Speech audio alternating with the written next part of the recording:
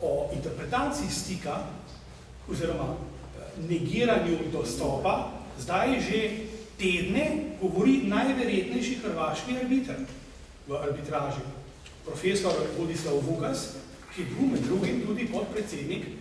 sodišča Združenih narodov za pravo morja v Hamburgu. Zelo vpliven človek, ki mu mednarodna skupnost prisluhne.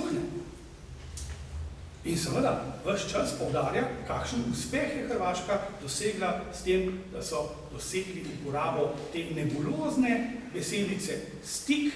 potem pa pravi gospod Vukas, bo večkrat citiran, oziroma sem da citiral v dnevnih občilih, tako da, da ne bom zdaj izgubil časa, da kasneje, pravi, v najboljšem primeru bomo seveda Sloveniji dali nekakšen neškodljivi prehod, morda tranziten, oziroma kot se laično reče, tako da ljudje razumejo služnost oziroma služnostni prehod.